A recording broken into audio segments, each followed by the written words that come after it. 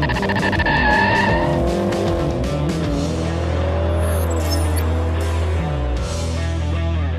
Días, tardes o noches, caballeros. Yo soy José Miguel Calderón, como siempre, acompañándolos. Y hoy día es un día triste, aparentemente, para la humanidad. Es un día de angustia, es un día de desolación, damas y caballeros. Estaba en la calle muy tranquilo, dejando a mi hijo en la escuela. Y de pronto me llegó un aviso al correo a mi suscripción de Motor Authority. Y me encontré con que Subaru acaba de confirmar que no va a haber STI para la generación vigente del WRX. ¡Oh, Dios mío!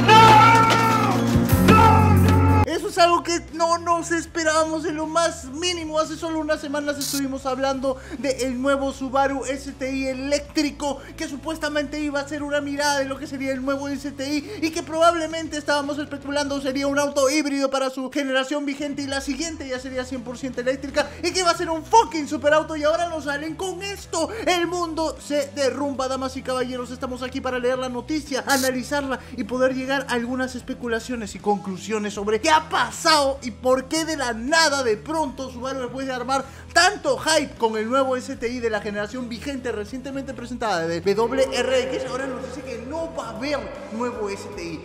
¡Ah! Oye, pero qué ordinaria esta guatona reculeada. A ver, le damos la nota primero de Motor Authority. Subaru anuncia el viernes que la generación actual de Subaru WRX no obtendrá un modelo STI de mayor rendimiento para esta generación. Razón, la compañía está examinando cómo los futuros autos deportivos y de rendimiento deberían evolucionar para satisfacer las necesidades del mercado cambiante y las regulaciones y requisitos de gases, efecto invernadero, vehículos de cero emisiones y economía de combustible promedio corporativa, dijo Subaru en su declaración. ¡Oh, me echado al derecho y al revés, damas y caballeros. La crisis del combustible probablemente es lo que ha tirado para atrás la decisión de Toyota y Subaru de lanzar una nueva generación del STI en el mundo de hoy. El mundo que vive una guerra en Rusia, el mundo que sale del COVID, el mundo que está machacado económicamente. calla esto definitivamente es algo nuevo. Les puedo asegurar que esto es algo que ha salido de la noche a la mañana, es algo que no ha estado planificado, es algo que no ha debido estar sobre la mesa. Les puedo asegurar que dentro de 5 o 10 años, a mucho vamos a ver, así como vemos hoy en día, como BMW presenta conceptos de, autos que construyeron, que iban a ir a producción hace 20 años y nunca lo sacaron a producción por algún motivo. Vamos a conocer lo que hubiese sido la última generación a combustión interna del STI, pero la crisis mundial que se vive en este momento no lo dejó ver la luz, damas y caballeros. Continuemos. Como parte de ese cambio, el próximo STI no saldrá de la plataforma el último WRX, que acaba de llegar a principios de este año, mientras que el nuevo WRX se monta en una versión de plataforma global de Subaru que sirve para todos los vehículos, desde el sedán compacto impresa hasta el crossover de tamaño mediano Ascent. Subaru dice que está más lejos de la plataforma impresa que nunca. La estructura trasera es más rígida y Subaru usa cuatro veces más adhesivo para la carrocería, para mejorar la rigidez lateral delantera en 14% y la rigidez torsional en 28%. Aparentemente solo el WRX se beneficiará con esos cambios. ¿Entienden una palabra de lo que acabamos de leer, damas y caballeros? Acá hay dos caminos dos caminos y punto. O el WRX está a punto de convertirse en un crossover. Creo que está clarísimo con las declaraciones de Subaru, que están hablando de a dónde va el mercado, están hablando de la evolución de la movilidad y de cómo el, eh, y hacia dónde van las preferencias de los consumidores. ¿Qué prefieren los consumidores hoy día? Crossover. ¿Qué le acaban de hacer al último WRX? Trataron de crossoverizarlo, hacerle un SUS, un Sport Utility Sedan, más alto, más plásticos a los lados. ¿Saben cómo le da las ventas al último WRX? A las huevas. Le va hasta las huevas, le va súper mal. Ay, cálmate, cochito.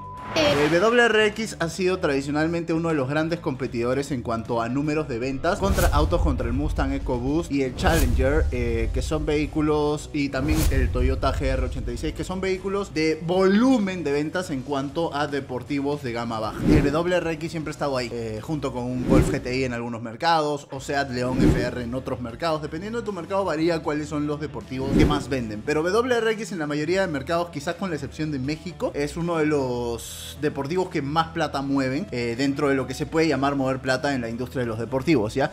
Ahora, este, esto quiere decir que el siguiente WRX, dada esta crisis, probablemente lo van a convertir en un crossover o en un SUV. Y por eso básicamente están diciendo, ¿saben qué? STI no vale la pena construirlo. Por la...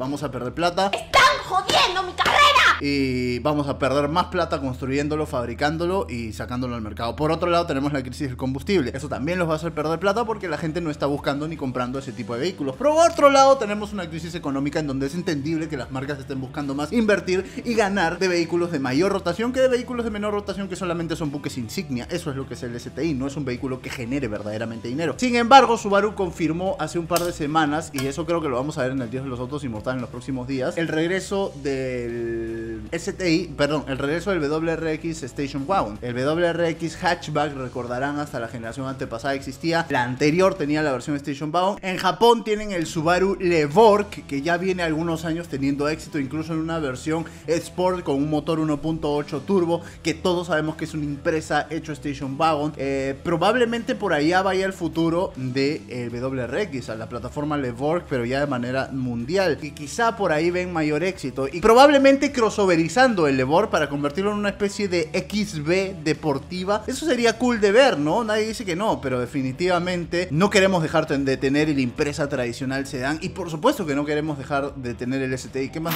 No parece que la STI desaparezca, ya que la compañía dijo que está aproximándose oportunidades para la próxima STI, incluida la electrificación. Eso está clarísimo, ya lo mostraron en un concepto. La compañía también dijo que espera también incorporar la esencia de STI en nuestra próxima generación de vehículos. Eso lo dijeron ellos, por la que tal vez la línea STI creada para rally se expanda o influya en otros vehículos. Ya, esas son pichuladas donde simplemente le van a poner stickers de Subaru, eh, Subaru Technique International, STI, Rines STI como paquete M, ¿no? A diferentes carros. Impresa, paquete STI, eh, eh, XB, paquete STI y la paquetes STI. todo de paquetes STI va a ser paquetes estéticos, nada más, ¿ya? Así que no creamos de que STI Va, a meter mano verdaderamente en todos los Subarus. Eso ya sabemos que no pasa. Y eso es influencia de Toyota al 100%. Toyota hace eso con TRD. Le va bien. Los vehículos que tienen la firma de TRD venden como pan caliente en mercados donde están disponibles en Latinoamérica, como por ejemplo Argentina, los tiene disponibles, Brasil los tiene disponibles. Eh, no estoy seguro si en México están disponibles algunos de los TRD. Me parece que eh, solamente Argentina y Brasil tienen disponibles los TRD. Pero en Estados Unidos sí hay varias líneas de TRD disponibles y venden súper bien como tope de gamas y solo tienen parrillas chéveres y mucho negro con rojo todos lados. Punto. Eso es lo que va a hacer STI. Parece, lo van a minimizar de alguna manera, si me lo preguntan. Ahora, a principios de este año, la compañía dio una fuerte sugerencia de la forma que tomará. En el debut del concepto de carreras y carretera, STI IRA. El IRA es el concepto del que hablamos 100% eléctrico STI.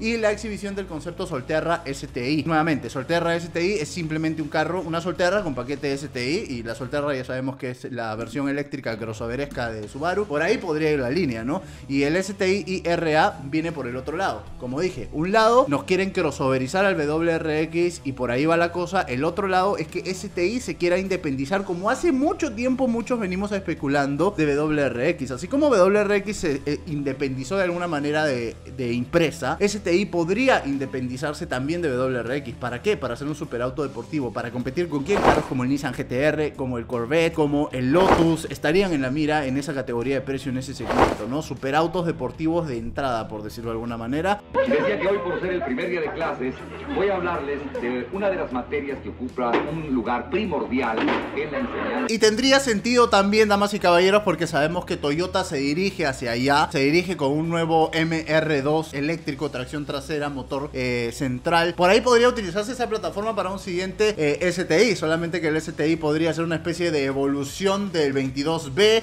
eh, y con tracción integral, porque es muy fácil que el motor eléctrico tenga tracción integral, tienes que agregar un motorcito adelante y listo. En el caso del MR2 no sería el caso, pero podrían usar esa plataforma. Aunque también más lógica haría que utilicen la siguiente plataforma de Supra, que vendría a ser utilizada tanto en Mazda como RX9, en Toyota como Supra, en Subaru, que ya sabemos todas son marcas amigas, podría utilizarse como el siguiente STI, eh, como superauto deportivo de la marca o como deportivo insignia de la marca, mejor dicho. O también podrían estar apuntando a que STI sea un modelo 100% de alta performance, como ya dije, para competir con GTR y estén utilizando el as bajo la manga, es el Toyota Super GT Concept tiene como mil caballos de fuerza y es un superauto deportivo también, ¿no? Podría ir por ahí, pero a mí más lógica me haría que Subaru lo que esté haciendo es convertir STI en un modelo independiente para utilizar la plataforma del Toyota Supra, darle tracción integral una vez que ya ese modelo esté 100% electrificado,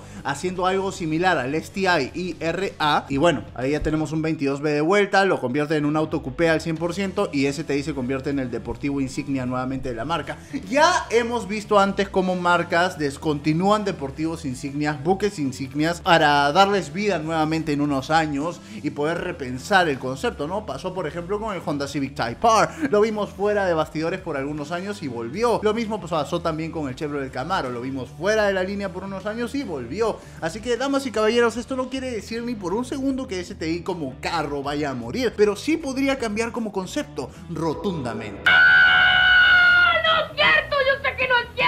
Es una pena que la generación vigente que tenemos en este momento, que no es, bajo mi punto de vista, el mejor STI que hayamos tenido, es básicamente un facelift que viene por más de una década existiendo. Y es una pena que esa vaya a ser la despedida de la combustión interna del STI. Hubiese esperado un STI majestuoso para su última generación de combustión interna.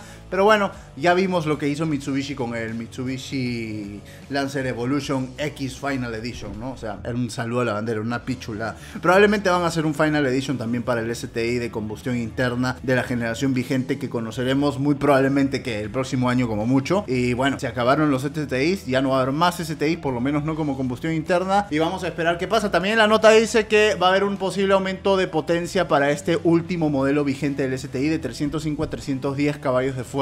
Eh, y podría tener algunas mejoras en el manejo eh, basándose en el modelo de carreras del vehículo, el S208. Y bueno, ese es el final del STI, damas y caballeros.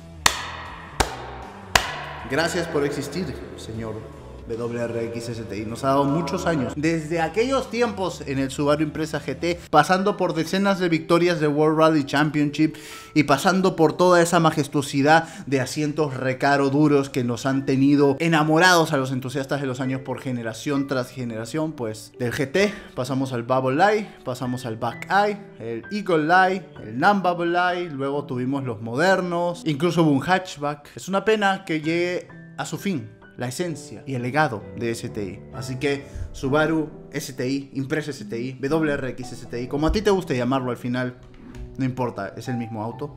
Nosotros te saludamos y me quito el sombrero en señal de respeto. Dicho esto, suscríbete si te ha gustado este video. Síganme también en Instagram como el Dios de los Autos Oficial y en Facebook y TikTok como el Dios de los Autos. Yo soy José Miguel Calderón, muchas gracias por seguirnos y por mantenerse enganchados al contenido del Dios de los Autos. Si te gusta este carro, te recomiendo que corras ya a tu dealer concesionario, agencia, Subaru local y pidas tu STI porque para el próximo año probablemente van a ser los últimos, los Final Edition. Después, no sé cuánto demoren en llegar. Pero sea lo que sea que demoren, van a ser eléctricos. Chao.